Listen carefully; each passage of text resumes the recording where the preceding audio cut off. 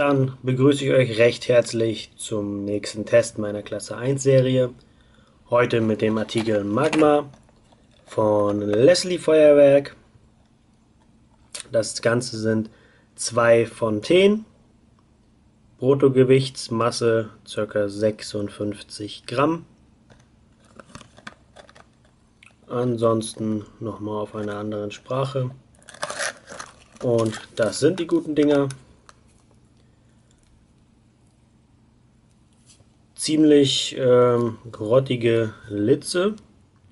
Ist mir aufgefallen auf den ersten Blick. Finde ich ziemlich schade. Da seht ihr es. Ähm, unten ziemlich hohl.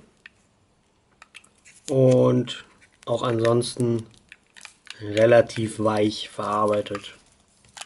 Aber nun gut, das kann ja auch alles täuschen. Ähm, wir schauen uns die guten Dinger mal an. Ich muss sagen, ich äh, habe bislang wenig Leslie-Produkte der Klasse 1 gehabt und bin relativ gespannt. Also, bis gleich.